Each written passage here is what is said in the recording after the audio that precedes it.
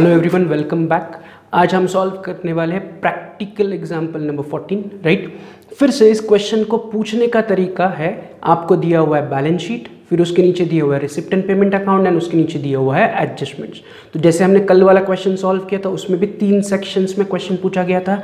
यहाँ पर भी क्वेश्चन पूछने के तीन सेक्शन है balance sheet of last year receipt and payment account of current year and current year की एडजस्टमेंट एडजस्टमेंट हमेशा करंट ईयर की होगी. इज़ इट क्लियर राइट तो हम क्वेश्चन पढ़ते हैं, उसके हिसाब से फॉर्मेट रेडी करते हैं, फिर एडजस्टमेंट्स के लिए टिक मार्क करते हैं. तो लेट्स रीड द क्वेश्चन तो उन्होंने कहा है following information has been provided by Vivekananda charitable hospital Latur you are required to prepare income and expenditure account for the year ended 31st March 2019 and balance sheet as on that date. तो उन्होंने very clearly कहा है कि ये जो information है, ये आपको विवेकानंद चैरिटेबल हॉस्पिटल लातूर उन्होंने दी हुई है और वो कह रहे you are required to prepare income and expenditure account and balance sheet तो एज यूजल हमें income and expenditure account and balance sheet बनाना है। तो मैंने आपको कल कहा था कि इसका फॉर्मेट रेडी करके रखो। तो सबने इस प्रकार फॉर्मेट बनाया क्या उसका? Income and expenditure account and balance sheet ऊपर in the books of Vivekanand charitable hospital common Latur balance sheet या sorry income and expenditure account for the year ended 31st March 2019 and balance sheet as on 31st March 2019 is it clear तो सबने इस तरह format ready किया हुआ है। अब हम क्या करते हैं? फिर से क्वेश्चन को पढ़ते हैं। क्वेश्चन में आपको पिछले साल की बैलेंस शीट दी है तो पहले हम पिछले साल की बैलेंस शीट को पढ़ते हैं। उसे हम रिसिप्ट एंड पेमेंट के साथ कंपेयर करते हैं। जहाँ ज़रूरी होगी, उसके लिए हम टिक मार्क करते हैं। तो मैं क्या करूँगा? बैलेंस शीट पढ़ूँगा। उसे मैं रिसिप्ट एंड पेमेंट के साथ कंपेयर करूँगा एंड जहाँ ज़रूरत होगी वहाँ पर मैं टिक मार्क दूँगा राइट तो let's read the balance sheet first balance sheet as on first April 2018 यानी कि इस साल की शुरुआत, अभी करंट ईयर हमारा एंड हो रहा है थर्टी फ़र्स्ट मार्च 2019 और बैलेंस शीट आपको दी है फ़र्स्ट अप्रैल 2018 यानी कि इस साल की शुरुआत वाली बैलेंस शीट है, यानी कि नथिंग बट पिछले साल की बैलेंस शीट है। तो उससे मैं कंपेयर करूँगा with my receipt and payment account right and then tick mark दूँगा। तो लायबिलिटी से शुरुआत करते हैं। तो लायबिलिटी में पहला आइटम दिया आपको कैपिटल फंड तो एज यूजुअल कैपिटल फंड कहीं पर टिक मार्क करने की ज़रूरत नहीं है। जब हम इस साल की बैलेंस शीट बनाएँगे तो कैपिटल फंड उसमें पोस्ट करेंगे। अगला आइटम है बैंक लोन तो पिछले साल आपके पास साढ़े छः लाख रुपए का बैंक लोन था। शायद इस साल आपने पे किया होगा। तो रिसिप्ट एंड पेमेंट में चेक करो। आपको कोई बैंक लोन की एंट्री दिख रही है क्या? रिसिप्ट में दिख रही है कि बैंक लोन की entry answer is no payment में चेक कर पाए। पेमेंट में आपको कोई बैंक लोन की एंट्री दिख रही है क्या? आंसर इज़ नो मतलब बैंक लोन जो पिछले साल का था, वो इस साल ना मैंने और लिया, ना मैंने पे किया राइट तो बैंक लोन पर कोई टिक मार्क करने की ज़रूरत नहीं है। अगला item outstanding bill for drugs तो ड्रग्स यानी कि दवाइयाँ। तो पिछले साल पचास हज़ार रुपये का दवाइयों का बिल आउटस्टैंडिंग था, ड्रग्स का बिल आउटस्टैंडिंग था तो वो शायद मैंने इस साल पे किया होगा। तो रिसिप्ट एंड पेमेंट में चेक करो कि आपको ड्रग्स का बिल का कोई एंट्री दिख रहा है क्या? रिसिप्ट में नहीं दिख रहा है बट पेमेंट में मुझे दिख रहा है परचेस ऑफ़ ड्रग्स ब्रैकेट में नहीं दिया include forty thousand seventeen eighteen मतलब वो कह रहे हैं कि पिछले साल आउटस्टैंडिंग था पचास हज़ार, पचास में से आपने चालीस पे कर दिए तो उसके लिए क्या करो? परचेस ऑफ़ ड्रग्स पर टिक मार्क करो। अब ड्रग्स दवाइयाँ, यानी कि खर्चा है आपका तो मैं ऊपर बैलेंस शीट पर टिक मार्क नहीं कर रहा हूँ, मैं खर्चे में नीचे टिक मार्क कर रहा हूँ तो परचेस ऑफ़ ड्रग्स पे पुट टिक मार्क फॉर पिछले साल का आउटस्टैंडिंग ड्रग्स तो लाइबिलिटी साइड के सारे आइटम्स मैंने पढ़ लिए, अब चलते हैं on the asset side assets में पहला आइटम दिया है आपको बिल्डिंग तो building is our fixed assets फिर से रिसिप्ट एंड पेमेंट में चेक करो कि क्या मैंने इस साल कोई नई बिल्डिंग खरीदी की या पुरानी बिल्डिंग बेची. तो रिसिप्ट में आपको कोई बिल्डिंग की एंट्री दिख रही है क्या? आंसर इज़ नो पेमेंट में आपको कोई बिल्डिंग की एंट्री दिख रही है क्या? आंसर इज़ नो तो there is no addition to building और सेल ऑफ़ बिल्डिंग आगे बढ़ो बिल्डिंग के बाद अगला आइटम दिया है एंबुलेंस तो ambulance is also our fixed assets है कि नहीं? तो एंबुलेंस के लिए फिर से रिसिप्ट एंड पेमेंट में चेक करो, कहीं पर एंबुलेंस की कोई एंट्री दिख रही है क्या? आंसर इज़ नो ना रिसिप्ट में कोई एंबुलेंस की एंट्री है, ना पेमेंट्स में कोई एंबुलेंस की एंट्री है। एंबुलेंस के बाद एसेट्स में अगला आइटम है स्टॉक ऑफ़ ड्रग्स यानी कि पिछले साल 42,000 के ड्रग्स आपके पास बचे थे। मतलब आपने जितने ड्रग्स खरीदे थे पिछले साल जितनी दवाइयाँ आपने पिछले साल खरीदी थी उसमें से 42,000 की दवाइयाँ अभी तक आपने यूज़ नहीं की। तो इसके लिए करना क्या है? तो इसके लिए फिर से रिसिप्ट पेमेंट में चेक करो ड्रग्स की एंट्री कहाँ पर है? तो पेमेंट में है परचेस ऑफ़ ड्रग्स तो परचेस ऑफ़ ड्रग पे और एक टिक मार्क दे दो। मतलब परचेस ऑफ़ ड्रग पे टोटल दो टिक मार्क हो गए। एक उसका बिल पेंडिंग है लायबिलिटी साइड वाले आइटम के लिए टिक मार्क किया और एक स्टॉक ऑफ़ ड्रग्स के लिए मैंने टिक मार्क कर लिया। अब स्टॉक ऑफ़ ड्रग के बाद अगला आइटम क्या है? Hospital equipment three lakh four thousand फिर से हॉस्पिटल इक्विपमेंट एसेट्स में सबको थ्री लैख फोर थाउज़ेंड दिख रहा है पिछले साल के। फिर से रिसिप्ट एंड पेमेंट में चेक करो कि इस साल मैंने कोई हॉस्पिटल इक्विपमेंट खरीदी की है या नहीं। तो रिसिप्ट साइड में भी कोई एंट्री नहीं है पेमेंट में भी कोई एंट्री नहीं है। Hospital equipment is my fixed assets अगर रिसिप्ट साइड में कोई एंट्री होती है हॉस्पिटल इक्विपमेंट की तो इसका मतलब होता है मैंने हॉस्पिटल इक्विपमेंट बेच के पैसे रिसीव किए। एंड अगर पेमेंट में कोई एंट्री होती है हॉस्पिटल इक्विपमेंट की तो इसका मतलब मैंने पैसा पे करके नए हॉस्पिटल इक्विपमेंट परचेज किए या एक्वायर किए। बट ऐसा अभी कोई दिख नहीं रहा है तो इसलिए कहीं पर टिकमार्क करने की ज़रूरत नहीं है। And last item on the asset side is cash in hand तो कैश इन हैंड आपको हमेशा क्रॉस मैच होगा with to balance brought down पिछले साल के एसेट्स में कैश इन हैंड दिख रहा है। ऑपोजिट में रिसिप्ट में सबको टू बैलेंस ब्रॉड डाउन दिख रहा है। दोनों की अमाउंट देखो फोर थाउज़ेंड है। तो पिछले साल के चार हज़ार बच्चे जो थे, वो मैंने इस साल ब्रॉड डाउन किए। तो ये डबल इफ़ेक्ट है। तो दोनों को कैंसिल आउट करो। इन्हें पोस्टिंग में कहीं पर लिखने की ज़रूरत नहीं। तो अभी इनको कैंसिल आउट करके भूल जाओ। राइट तो हमने पिछले साल के बैलेंस शीट के दोनों साइड्स कंसिडर किए पहले लाइबिलिटी साइड पढ़ी, फिर एसेट साइड पढ़ी।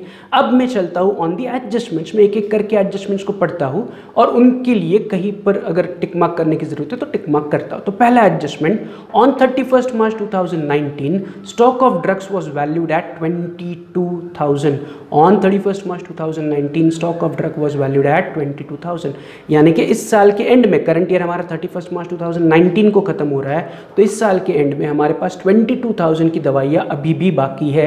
तो इस एडजस्टमेंट के लिए मैं स्टॉक ऑफ़ ड्रग्स पे जो ऊपर दिख रहा है परचेस ऑफ़ ड्रग्स उसके लिए और एक टिक मार्क दूँगा। तो परचेस ऑफ़ ड्रग पे टोटल तीन टिक मार्क बन गए।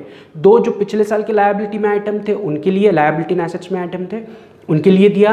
एंड एक मैंने एडजस्टमेंट में अभी एडजस्टमेंट में आपको कहा है स्टॉक ऑफ़ ड्रग्स 22,000 उसके लिए टिक मार्क किया। तो परचेस ऑफ़ ड्रग्स पे टोटल तीन टिक मार्क्स हुए राइट आगे बढ़ो next adjustment number two depreciation on building at 5% per annum and on ambulance 30,000 तो उन्होंने वेरी सिंपल कहा है कि बिल्डिंग को 5 परसेंट से डिप्रिसिएट करो एंड एंबुलेंस को 30,000 से डिप्रिसिएट करो। तो एंबुलेंस एंड बिल्डिंग कहाँ पर है? तो एंबुलेंस एंड बिल्डिंग पिछले साल के एसेट्स में दिख रहे हैं। तो put a tick mark on building and put a tick mark on ambulance इन दोनों को डिप्रिसिएट करना है। अब चलते हैं on third and last adjustment life membership fees are to be capitalise third adjustment वो क्या कह रहे हैं? लाइफ मेंबरशिप को कैपिटलाइज करो। वेर इज़ लाइफ मेंबरशिप की एंट्री तो रिसिप्ट साइड में सबको दिख रहा है कि लाइफ मेंबरशिप फ़ीस उसके आगे ब्रैकेट में लिखो कैप कैप यानी कि कैपिटलाइज पूरा का पूरा लाइफ मेंबरशिप फ़ीस हमें कैपिटलाइज करना है। तो लाइफ मेंबरशिप के ब्रैकेट में मैं लिख रहा हूँ कैप यानी कि कैपिटलाइज करो राइट तो यहाँ पर हमने तीनों एडजस्टमेंट्स पढ़े। उनके लिए जहाँ पर ज़रूरत थी, वहाँ पर टिक मार्क किया। अब अगला काम क्या है? अब हम एक एक करके आइटम्स को पोस्ट करेंगे। स्टार्ट करूँगा विथ माय लायबिलिटी साइड पिछले साल के लायबिलिटीज को मैं दिए हुए फॉर्मेट में पोस्ट करूँगा राइट तो लायबिलिटी में, पिछले साल की लायबिलिटी में पहला आइटम उनके पास था कैपिटल फंड तो सिंपल कैपिटल फंड को उठाओ एंड इस साल के लायबिलिटीज में लिखो इनर कॉलम में eleven lakh right simply capital fund उठाया लायबिलिटी में लिखा। नेक्स्ट कैपिटल फंड के बाद अगला आइटम है बैंक लोन तो बैंक लोन यानी कि बैंक से हमने कर्जा लिया है बैंक को पैसा देना बाकी है तो it is again my liability उस पर क्या कोई हमने टिक मार्क वगैरह किया है? आंसर इज़ नो तो जो बैंक लोन है उसे मैं एज इट इज़ कैरी करूँगा to my current year balance sheet कि ये बैंक लोन मुझे रिसिप्ट एंड पेमेंट में उसके लिए कोई एंट्री नहीं दिखी, ना ही एडजस्टमेंट में उसके लिए कुछ कहा है। मतलब ये bank loan as it is मेरे पास पेंडिंग है। साढ़े छः लाख में से मैंने एक रुपया वापस नहीं किया या साढ़े छः लाख से मैंने और कोई कर्जा नहीं लिया तो साढ़े छः lakh six lakh fifty thousand मेरा bank loan as it is pending है। तो bank loan is nothing but my liability तो मैं उसे उठाऊँगा और इस साल के बैलेंस शीट के लाइबिलिटीज़ में लिखूँगा। कुछ लाइनें छोड़ के bank loan six lakh fifty thousand is it clear and अब लाइबिलिटी में नेक्स्ट आइटम है आउटस्टैंडिंग बिल फॉर ड्रग्स तो ड्रग्स यानी कि दवाइयाँ दवाइयाँ हॉस्पिटल का खर्चा होता है, आपको दवाइयाँ खरीद कर मरीजों के इलाज के लिए यूज़ करनी पड़ती है। तो मेडिसिन इज़ योर खर्चा। तो खर्चे वाले आइटम अगर मुझे लाइबिलिटी एसेट्स में दिखते हैं तो मैं उसे अभी पोस्ट नहीं करूँगा, मैं उस पर हैश करूँगा और उन्हें एडजस्टमेंट के साथ कंसिडर करूँगा। इज़ इट क्लियर ये सेम हमने लास्ट क्वेश्चन में भी किया था कि कोई आइटम अगर आउटस्टैंडिंग है, कोई प्रीपेड है, कोई एडवांस है, कोई स्टॉक है तो उसे पेंडिंग छोड़ो एंड उसे हम बाद में आके एडजस्टमेंट के साथ सॉल्व करते तो आउटस्टैंडिंग बिल फॉर ड्रग्स पर मैं क्या करूँगा? हैश दूँगा और उसे पेंडिंग छोड़ूँगा। विद एडजस्टमेंट में आके इसे फिर से सॉल्व करूँगा। इज़ इट क्लियर तो अब आगे बढ़ते लाइबिलिटी के मैंने सारे आइटम्स पढ़ लिए। अब चलते on the asset side assets में पहला आइटम क्या है? Building building is my fixed assets तो मैं उसे उठाऊँगा और इस साल के एसेट्स में लिखूँगा। फिक्स्ड एसेट्स को उठा के लिखना है। तो बिल्डिंग को उठाओ इनर कॉलम में ten lakh fifty thousand leave line put building के बाद अगला आइटम है एंबुलेंस तो ambulance is also my fixed assets गाड़ी है एंबुलेंस तो एंबुलेंस उठाओ एंड फिर से इस साल के एसेट्स में इनर कॉलम में लिखो four lakhs leave one line put our ambulance के बाद अगला आइटम है स्टॉक ऑफ़ ड्रग्स ड्रग्स यानी कि दवाइयाँ। पिछले साल आपके पास 42,000 की दवाइयाँ बाकी थी तो ये मेरे लिए खर्चा है। दवाइयाँ is expense stock is my खर्चा दवाइयों का स्टॉक इज़ माय खर्चा। तो उसे मैं अभी पोस्ट नहीं करूँगा उस पर मैं हैश टैग दे पेंडिंग छोड़ूँगा। With adjustment will solve it तो अभी उसे कंसिडर करने की ज़रूरत नहीं just put hash tag pending छोड़ो और आगे बढ़ो। Next item is hospital equipment hospital equipments equipments is my asset hospital में जो इक्विपमेंट्स होते हैं ऑपरेशन थिएटर में होंगे या आप जो इक्विपमेंट्स इज़ लाइक ऑक्सीजन के सिलेंडर्स होंगे, या जो पाइपलाइंस उन्होंने बनाई है ऑक्सीजन प्रोवाइड करने के लिए, या जो ऑपरेशन थिएटर में वो अलग अलग ऑपरेशन करने के लिए, ये सर्जरीज करने के लिए इक्विपमेंट्स यूज़ करते तो that is their fixed assets वो रहेगा उनके पास लॉन्ग टर्म के लिए रहेगा, ये उनका खर्चा नहीं है तो hospital equipment is nothing but fixed assets तो फिक्स एसेट्स को हम उठाते हैं, और इस साल के एसेट्स में लिखते हैं तो इस साल के एसेट्स मैं लिखूँगा hospital equipment three lakh four thousand directly outer column कोई टिक मार्क नहीं तो डायरेक्टली आउटर कॉलम में लिख लो। राइट right, तो यहाँ पर हमने हॉस्पिटल इक्विपमेंट पोस्ट कर दिए अगला आइटम इस कैश इन हैंड जिसको हम कैंसिल आउट ऑलरेडी क्वेश्चन पढ़ते वक्त कर चुके हैं तो उसे इग्नोर करो और आगे बढ़ो। तो मैंने क्या किया? बैलेंस शीट पिछले साल की थी पहले लाइबिलिटी को पोस्ट किया अभी मैंने एसेट्स को पोस्ट किया। अब मैं चलता हूँ ऑन दी रिसिप्ट साइड तो रिसिप्ट का पहला आइटम है फिर से बैलेंस ब्रॉड डाउन जिसे हम कैंसिल आउट कर चुके हैं तो उसे इग्नोर करो आगे बढ़ो। अगला आइटम है subscription two lakh twenty two thousand तो subscription as usual is our income तो इनकम में पोस्ट करो by subscription two lakh twenty two thousand directly outer column कोई टिक मार्क नहीं है। नेक्स्ट सब्सक्रिप्शन के बाद लाइफ मेंबरशिप फ़ी ब्रैकेट में हमने लिखा हुआ है एडजस्टमेंट में उन्होंने कहा था कि उसे कैपिटलाइज करो तो हम इसे अभी कैपिटलाइज कर देंगे, यानी कि हम क्या करेंगे? लाइफ मेंबरशिप फ़ीस को उठाएँगे और हमारे कैपिटल फंड में ऐड करेंगे plus life membership fees thirty thousand तो अब मेरा टोटल कैपिटल फंड का नीचे आ जाएगा इलेवन लाख थर्टी थाउज़ेंड पहले का इलेवन लाख अभी का thirty thousand total capital fund बन गया eleven lakh thirty thousand next receipt side में अगला आइटम लाइफ मेंबरशिप फ़ीस के बाद हॉस्पिटल रिसिप्ट ब्रैकेट में वो दे रहे हैं रेवेन्यू रेवेन्यू यानी कि आपको बार बार मिलेगा। तो उसको उठाओ रेवेन्यू यानी कि इनकम इनकम में लिख लो। By hospital receipt five lakh ten thousand four hundred right next hospital receipt के बाद रिसिप्ट साइड कंप्लीट हो गया। अब हम चलते हैं on the payment side payment में पहला आइटम है परचेस ऑफ़ ड्रग्स ड्रग्स यानी कि दवाइयाँ, आपने दवाइयाँ खरीदी तो ये आपके लिए बन गया खर्चा। तो परचेस ऑफ़ ड्रग्स को मैं लिखूँगा एक्सपेंसेस में to purchase of drugs inner column में टू लैक्स तीन टिक मार्क है तो तीन टिक मार्क के लिए मैं पाँच लाइनें छोड़ के एरो कर दूँगा। तो to purchase of drugs inner column में टू लाख पाँच लाइनें छोड़ के put arrow purchase of drugs के बाद अगला आइटम दिया आपको सैलरी टू स्टाफ तो सिंपल सैलरी इज़ माई खर्चा। तो उठाओ, खर्चे में लिखो to salary to staff eighty five thousand salary to staff के बाद ऑनरियम टू डॉक्टर डॉक्टर्स को आपने ऑनरियम दिया। ऑनरियम का मतलब है इट इज़ काइंड ऑफ़ इसे अगर आप हिंदी में कहोगे या मराठी में कहोगे तो इट इज़ कॉल्ड एज मानधन। कोई भी डॉक्टर जब आपके हॉस्पिटल को विज़िट करता है तो उनको हम कुछ ऑनरियम पे करते हैं। Nothing but it is like we are paying them kind of remuneration और सैलरी तो ये हमारे लिए खर्चा बन गया हॉस्पिटल का खर्चा। हम उन्हें पे कर रहे हैं ऑनरियम पे कर रहे हैं, मानधन पे कर रहे हैं। तो ये हमारे लिए बनेगा खर्चा तो उसे उठा के हम खर्चे में लिखेंगे to honorarium to doctor four lakhs right खर्चे हमने हॉस्पिटल ने डॉक्टर्स को फोर लाख रुपीज़ उनके फ़ीस पे कर दिया या उनका पैसा पे कर दिया या it is kind of remuneration paid to the doctors. Honorarium to doctor चला गया खर्चे में। उसके बाद अगला आइटम है रिपेयर्स एंड मेंटेनेंस तो रिपेयर एंड मेंटेनेंस हमें बार बार करने पड़ते हैं। रिपेयर्स एंड मेंटेनेंस के लिए हमें बार बार पैसे देने पड़ते हैं। तो ये भी हमारे लिए बन गया खर्चा। तो रिपेयर्स एंड मेंटेनेंस को उठाओ एंड खर्चे में लिखो to repairs and maintenance eighteen तो रिपेयर एंड मेंटेनेंस के बाद अगला आइटम है फर्नीचर तो फर्नीचर इज़ आर एसेट है कि नहीं? फर्नीचर हमेशा हम कहा लिखते हैं? एसेट्स में लिखते हैं। तो एसेट्स में पहले से हमें कोई फर्नीचर दिख रहा है क्या? द आंसर इज़ नो तो इस फर्नीचर को उठाओ और डायरेक्टली एसेट्स में आउटर कॉलम में लिखो। फोर्टी फाइव थाउज़ेंड कोई टिक मार्क नहीं है, कुछ नहीं है। तो इसका मतलब ये फर्नीचर आपने इस साल खरीदा है, नया फर्नीचर है, अभी अभी आया है, पहले कुछ नहीं था तो डायरेक्टली उसको उठा के मैंने बाहर लिख लिया फोर्टी फाइव थाउज़ेंड फर्नीचर के बाद अगला आइटम है जनरल एक्सपेंसेस तो नाम में इट इज़ जनरल एक्सपेंसेस खर्चा है है कि नहीं? तो उठाओ एंड खर्चे में लिखो to general expenses sixteen thousand and last item general expenses के बाद बैलेंस कैरिड डाउन यानी कि साल के एंड में मेरे पास दो हज़ार रुपये बैलेंस बचा है।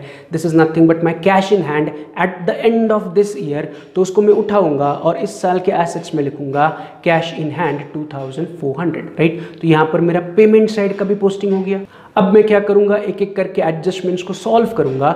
लेकिन एडजस्टमेंट को सॉल्व करते वक्त आपको याद रखना है कि अगर हैशटैग वाला कोई आइटम होगा बैलेंस शीट में I have to consider that also right? तो लेट्स सी पहला एडजस्टमेंट क्या दिया उन्होंने? उन्होंने कहा है thirty first March two thousand nineteen stock of drugs was valued at twenty two thousand तो thirty first March two thousand nineteen मतलब करंट ईयर के एंड में आपके पास ट्वेंटी टू थाउज़ेंड की दवाइयाँ अभी भी बाकी है। It is stock of drugs at the end of current year मतलब 22,000 की दवाइयाँ अभी तक आपने यूज़ नहीं की है जिसे हम अगले साल शायद यूज़ करेंगे। तो ये 22,000 की दवाइयाँ मुझे इस साल की दवाइयों से क्या करने पड़ेंगे? सब करने पड़ेंगे। इज़ इट क्लियर तो इस साल आप सबको दवाइयाँ कितनी दिख रही है? Purchase of drugs two lakhs तो उस टू लैक्स से मैं कहूँगा माइनस स्टॉक 1819 यानी कि करंट ईयर का 22,000 तो 2 लाख माइनस 22,000 नीचे टोटल बचा 1 लाख 78,000 कितना टोटल नीचे बचा?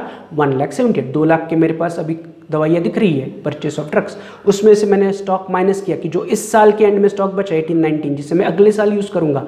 मतलब ट्वेंटी टू थाउज़ेंड की दवाइयाँ मैंने इस साल खर्च नहीं किया, या इस साल मैंने ट्वेंटी टू थाउज़ेंड की दवाइयाँ यूज़ नहीं की, उनको मैं सब कर रहा हूँ राइट एंड टोटल में नीचे ले रहा हूँ one lakh seventy eight thousand अब जो इस साल दवाइयाँ मेरे पास बाकी बची है स्टॉक ऑफ़ ड्रग्स यानी कि इस साल के एंड में मेरे पास इतनी दवाइयाँ बाकी बची है तो मैं उसको उठाऊँगा एंड उसका सेकंड इफ़ेक्ट में दूँगा on the asset side assets में मैं लिखूँगा स्टॉक ऑफ़ ड्रग्स ट्वेंटी तो एसेट्स में मैंने लिखा स्टॉक ऑफ़ ड्रग्स 22,000 यानी कि स्टॉक ऑफ़ ड्रग्स जो एडजस्टमेंट वन में दिया था उसका डबल इफ़ेक्ट हो गया। बट यहाँ पर मैंने कहा था कि एडजस्टमेंट के साथ साथ हमें हैश हैशटैग आइटम्स को भी कंसिडर करना है। तो पिछले साल के बैलेंस शीट में देखो is there any hashtag items तो पिछले साल के अगर मैं एसेट्स में देखूँगा तो मुझे हैशटैग स्टॉक ऑफ़ ड्रग्स दिख रहा है फोर्टी टू थाउज़ेंड तो वट डज दैट मीन इसका मतलब है पिछले साल मेरे पास फोर्टी टू थाउज़ेंड की दवाइयाँ बाकी बची थी। बैलेंस शीट पिछले साल की हैशटैग वाला स्टॉक ऑफ़ ड्रग्स पिछले साल है। तो पिछले साल 42,000 की दवाइयाँ मेरे पास बाकी थी। तो मैंने उसे पिछले साल फेंक दिया क्या? नहीं पिछले साल बची हुई दवाइयाँ मैं कैरी करूँगा और इस साल यूज़ करूँगा। तो जो पिछले साल के ड्रग्स 42,000 के मेरे पास बाकी बचे थे वो मैं इस साल के ड्रग्स में ऐड करूँगा। पिछले साल के बची हुई दवाइयाँ मैं इस साल यूज़ करूँगा। तो मुझे इस साल के खर्चे में उसे ऐड करना पड़ेगा एज सिंपल एज दैट पिछले साल फोर्टी की दवाइयाँ बची थी वो मैं इस साल यूज़ करूँगा तो इस साल के खर्चे में मैं उसे ऐड करूँगा। Plus stock of drugs bracket में 1718 1718 यानी कि पिछला साल 40,000 तो one lakh seventy eight plus forty thousand मेरे टोटल दवाइयाँ नीचे बच जाएगी two lakh twenty thousand right two lakh already मेरे पास थे उसमें से मैंने ट्वेंटी टू माइनस किए वन सेवेंटी एट बचा प्लस उसमें फोर्टी टू ऐड किए तो अब मेरे स्टॉक ड्रग्स की कीमत या मेडिसिन की कीमत दिख रही है टू लैख ट्वेंटी थाउज़ेंड अभी भी उसे इनर कॉलम में लिखो क्योंकि उस पर एक और एडजस्टमेंट बाकी है। तो अभी हमने क्या किया? अभी हमने एडजस्टमेंट पढ़ा। पहला एडजस्टमेंट था, उसको मैंने पहले डबल इफ़ेक्ट दिया, फिर मैंने हैशटैग वाले स्टॉक ऑफ़ ड्रग्स को कंसिडर किया। अब बैलेंस शीट में चेक करो, और कोई ड्रग्स पे एडजस्टमेंट है क्या या हैशटैग है क्या? यस तो मुझे लायबिलिटी साइड में दिख रहा है आउटस्टैंडिंग बिल फॉर ड्रग्स जिस पर मैंने हैशटैग दिया हुआ है, और वो कह रहे हैं पचास हज़ार। पिछले साल बिल जो दवाइयाँ है, उसका बिल पचास हज़ार आउटस्टैंडिंग था। यानी कि पिछले साल दवाइयों के पचास हज़ार रुपए देने बाकी थे। तो माई क्वेश्चन इज़ क्या ये पचास हज़ार मैंने पे किए इस साल? द आंसर इज़ यस मैंने पे किए, लेकिन मैंने फोर्टी थाउज़ेंड पे किए। कैसे पता चला फोर्टी थाउज़ेंड पे किए? तो जब हमने रिसिप्ट एंड पेमेंट साइड पढ़ा था तो उसमें उन्होंने परचेस ऑफ़ ड्रग के नीचे ब्रैकेट में दिया था include forty thousand for seventeen eighteen अगर आप रिसिप्ट एंड पेमेंट में देख सकते हो तो पेमेंट साइड में चेक करो। सबके पास अगर नोट्स है तो पेमेंट साइड में चेक करो। परचेस ऑफ़ ड्रग्स के नीचे उन्होंने दिया ब्रैकेट में include forty thousand for seventeen eighteen यहाँ पर आपको लाइबिलिटी में दिख रहा है कि 17 18 पिछले साल का ड्रग्स का बिल पचास हज़ार पेंडिंग है एंड आपके क्वेश्चन में रिसिप्ट एंड पेमेंट में पेमेंट साइड में वो कह रहे हैं कि जो ड्रग्स मैंने इस साल खरीदे, चालीस हज़ार मैंने पिछले साल के पे किए। तो देने थे पचास, पिछले साल मैंने पे किए कितने? Forty thousand. यानी कि जहाँ पर खर्चे में जब मैं लिख रहा हूँ परचेस ऑफ़ ड्रग्स तो इनमें से forty thousand is for the previous year तो पिछले साल के चालीस हज़ार में क्या करूँगा? इसमें से सब करूँगा, क्योंकि out of this expenditure forty thousand am paying for the last year तो मैं यहाँ पर लिखूँगा माइनस आउटस्टैंडिंग सेवनटीन एट्टी के फोर्टी थाउज़ेंड तो वो माइनस करने के बाद अब मेरे टोटल ड्रग्स की कीमत आ जाएगी one lakh eighty thousand out of column getting it hashtag में कितना कहा उन्होंने? आउटस्टैंडिंग पचास हज़ार। रिसिप्ट एंड पेमेंट के पेमेंट में वो क्या कह रहे हैं कि आउट ऑफ़ पचास हज़ार आपने चालीस हज़ार पे किए मतलब इस साल जो खर्चे में आपको स्टॉक ऑफ़ ड्रग्स या ड्रग्स या परचेस ऑफ़ ड्रग्स दिख रहा है, इसमें से फोर्टी थाउज़ेंड आपने पिछले साल के पे किए तो पिछले साल के फोर्टी थाउज़ेंड में क्या कर रहा हूँ, यहाँ से सब कर रहा हूँ एंड टोटल आर ये मेरी ड्रग्स की बाहर वन लैख एटी थाउज़ेंड अब क्वेश्चन इस पिछले साल पेंडिंग कितना था? पचास हज़ार। मैंने पे कितना किया? फोर्टी थाउज़ेंड यानी कि पिछले साल के दस हज़ार अभी भी आउटस्टैंडिंग है। तो वो दस हज़ार में लिखूँगा on the liability side liability में लिखूँगा outstanding bill for drugs seventeen eighteen यानी कि सेवनटीन एटीन का बिल का ड्रग आउटस्टैंडिंग है टेन थाउज़ेंड हैशटैग में दिख रहा है पचास हज़ार, मैंने पे किए चालीस हज़ार मतलब दस हज़ार अभी भी पेंडिंग है, जो तो पेंडिंग है, वो दस हज़ार मैंने लाइबिलिटी में लिख रहे हैं outstanding drugs bill ten thousand seventeen eighteen के राइट तो ये जो हैशटैग वाले आइटम्स थे this you have to check dynamically आपको बहुत डायनामिक बनना पड़ेगा, आपको थोड़ा सा थोड़ा ज़्यादा क्या केयरफुल रहना पड़ेगा कि अच्छा एडजस्टमेंट है, इसके ऊपर कोई हैशटैग वाला आइटम है तो उसे कंसिडर करो और फिर आगे पढ़ो इज़ इट क्लियर तो हमारी एडजस्टमेंट वन में उन्होंने कहा था stock of drugs on eighteen nineteen यानी कि इस साल ट्वेंटी का स्टॉक ऑफ़ ड्रग था तो पहले पहले उसे सॉल्व किया सिंपली डबल इफ़ेक्ट दे दिया राइट फिर मैंने हैशटैग चेक किए कि पिछले साल के बैलेंस शीट में हैशटैग में क्या किया था तो पिछले साल के एसेट्स में भी एक हैशटैग आइटम था पिछले साल के लाइबिलिटी में भी एक हैशटैग आइटम था तो मैंने दोनों को कंसिडर किया, दोनों को सॉल्व किया और फिर अब मैं आगे बढ़ रहा हूँ on to our next adjustment adjustment number two तो सेकंड एडजस्टमेंट उन्होंने कहा है या सिंपल एडजस्टमेंट है depreciation on building at five percent per annum and on ambulance thirty thousand तो दोनों बिल्डिंग एंड एंबुलेंस मेरे एसेट्स में है। तो पहले मैं क्या करता हूँ? बिल्डिंग को डेप्रिसिएट करता हूँ। तो सबको बिल्डिंग कितनी दिख रही है एसेट्स में? टेन लाख फिफ्टी थाउज़ेंड तो कैलकुलेट करो टेन लाख फिफ्टी थाउज़ेंड का फाइव परसेंट हुआ फिफ्टी टू फाइव हंड्रेड है कि नहीं? फिफ्टी टू फाइव हंड्रेड को हम बिल्डिंग से सब ट्रैक करेंगे as minus depreciation five percent fifty two five hundred बाहर बचेगा nine lakh ninety seven five hundred तो सिंपल बिल्डिंग को मैंने पाँच परसेंट से डेप्रिसिएट किया। उसी प्रकार एंबुलेंस को थर्टी थाउज़ेंड से डेप्रिसिएट करते हैं तो एंबुलेंस से लिखो माइनस डेप्रिसिएशन थर्टी थाउज़ेंड तो बाहर एंबुलेंस बचेगा three lakh seventy thousand thirty thousand already pre calculated है। थर्टी थाउज़ेंड ने अमाउंट ही दिए डिप्रिसिएशन की तो उतनी थर्टी थाउज़ेंड मैंने एंबुलेंस से सब्ट्रैक्ट किए एंबुलेंस बाहर बची three lakh seventy thousand right तो मैंने बिल्डिंग से डिप्रिसिएशन माइनस किया एंबुलेंस से डिप्रिसिएशन माइनस किया, इन दोनों डिप्रिसिएशन को उठाओ सेकंड इफ़ेक्ट आएगा डिप्रिसिएशन का ऑन दी एक्सपेंसेस एक्सपेंसेस में मैं लिखूँगा टू डिप्रिसिएशन अंडरलाइन करके building fifty two five hundred ambulance thirty thousand दोनों का total 82,500 two thousand five hundred out column तो डिप्रिसिएशन का सिंपल डबल इफ़ेक्ट हुआ। आगे बढ़ते हैं चलते ऑन दी थर्ड एडजस्टमेंट तो थर्ड एडजस्टमेंट वो कह रहे हैं उन्होंने कहा है life membership fees are to be capitalise तो वो ऑलरेडी हम कर चुके हैं कैपिटल फंड में ऑलरेडी हम लाइफ मेंबरशिप फ़ीस ऐड कर चुके हैं तो आपको फिर से कुछ करने की ज़रूरत नहीं है। लाइफ मेंबरशिप फ़ीस का एडजस्टमेंट ऑलरेडी हम सॉल्व कर चुके हैं। पोस्टिंग के साथ ही हमने क्या किया था? लाइफ मेंबरशिप फ़ीस को कैपिटल फंड में ऐड किया था तो इसके लिए फिर से कुछ करने की ज़रूरत नहीं है। तो यहाँ पर हमारे तीनों एडजस्टमेंट हो गए राइट अब जाते जाते बस आपको चेक करना है कि पिछले साल के बैलेंस शीट में क्या कोई हैशटैग आइटम पेंडिंग है? तो पिछले साल के बैलेंस शीट में दो ही हैशटैग आइटम थे एक था स्टॉक ऑफ़ ड्रग्स ऑलरेडी हमने कंसिडर किया। एक था आउटस्टैंडिंग बिल फॉर ड्रग वो भी हमने कंसिडर किया। तो और कोई हैशटैग आइटम पेंडिंग नहीं है। तो we are done with all the posting all the adjustment solving अब बस करना क्या है? आपको इनकम एंड एक्सपेंडिचर अकाउंट को क्लोज करना है एंड बैलेंस शीट को टाली करना है। तो ये काम फिर से आपको मैं दे रहा हूँ। Take five minutes close income and expenditure account and balance sheet को टैली करो। अगर बैलेंस शीट टैली नहीं हो रही तो फिर इस वीडियो का अगला पार्ट देखो।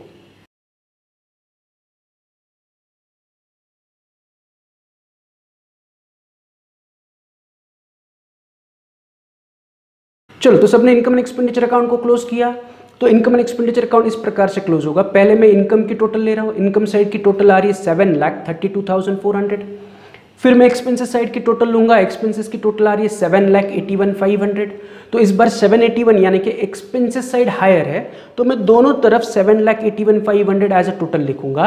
And I take difference as seven lakh eighty one five hundred बड़ी amount minus seven lakh thirty two four hundred छोटी अमाउंट अगर मैं डिफरेंस कैलकुलेट करूँगा तो वो आ रहा है forty nine thousand one hundred है कि नहीं? बड़े अमाउंट में से छोटा अमाउंट मैंने सब्ट्रैक्ट किया डिफरेंस मिला मुझे फोर्टी नाइन वन हंड्रेड अब ये डिफरेंस मैं लिखूँगा on the income side why on the income side क्योंकि एक्सपेंडिचर की टोटल बड़ी है इनकम की टोटल कम है तो जो साइड की टोटल कम है, उस तरफ़ मैं एज ए बैलेंसिंग फिगर लिखूँगा forty nine one hundred and इस बैलेंसिंग फिगर को मैं अंदर लिखूँगा बाय डेफिसिट ये मेरे लिए नुकसान बनेगा. वाई माई लॉस या वाई डेफिसिट क्योंकि expenses side is heavy expenses की टोटल ज़्यादा है इनकम की टोटल कम है income is short expenses greater तो खर्चा ज़्यादा है इनकम कम है मतलब नुकसान है खर्चे ज़्यादा है इनकम आमदनी कम है खर्चे ज़्यादा है तो इट इज़ माई लॉस तो इस लॉस को मैं लिखूँगा बाय डेफिसिट ब्रैकेट में लिखूँगा excess of expenses over income bracket में मैं क्या लिख रहा हूँ by excess of expenses expenses excess है ओवर इनकम राइट अब इस डेफिसिट को उठाऊँगा एंड कैपिटल फंड से सब करूँगा तो कैपिटल फंड में मैं लिखूँगा minus deficit forty nine one hundred right तो पहले मेरे थे eleven lakh thirty thousand capital fund in the column में डेफिसिट माइनस करने पर बाहर बच रहे हैं ten lakh eighty thousand nine hundred and finally my balance sheet should get tally तो अगर मैं बैलेंस शीट को टैली करूँगा तो एसेट साइड का टोटल आ रहा है seventeen lakh forty thousand nine hundred and liability का टोटल भी आ रहा है seventeen lakh forty thousand nine hundred यानी कि my balance sheet is getting tallied on both the side यानी कि यहाँ पर हमारा क्वेश्चन नंबर फोर्टीन भी कंप्लीट हुआ, हमारी बैलेंस शीट टैली हुई। अब हम कल और एक सम सॉल्व करेंगे, जो कि है आपके प्रैक्टिकल एग्ज़ाम्पल नंबर सिक्स कौन सा सम कल हम सॉल्व करने वाले हैं? प्रैक्टिकल एग्ज़ाम्पल नंबर सिक्स तो आप सबका काम है कि उस क्वेश्चन को पढ़ना है राइट नेसेसरी टिक मार्क्स करने हैं और उसका फॉर्मेट रेडी करके रखना है। एंड जितना हो सके उतना सॉल्व करना है। तो एग्ज़ाम्पल नंबर सिक्स या प्रैक्टिकल एग्ज़ाम्पल या अनसॉल्व एग्ज़ाम्पल नंबर सिक्स आपको पूरा खुद से ट्राई करना है स्टार्ट टू एंड अगर वो क्वेश्चन आप पूरा सॉल्व कर सके तो वेरी गुड अगर नहीं सॉल्व किया तो कल के लेक्चर में हम डिस्कस करते हैं कि आप कहाँ कहाँ कहाँ पर गलत हो रहे हैं या कहाँ कहाँ पर आपको डाउट है। तो कल हम सॉल्व करेंगे एग्ज़ाम्पल नंबर सिक्स या practical example number six from your textbook आज हम यही रुक रहे हैं। कल मिलते हैं, कल हम एग्ज़ाम्पल नंबर सिक्स सॉल्व करते हैं। Have a good day bye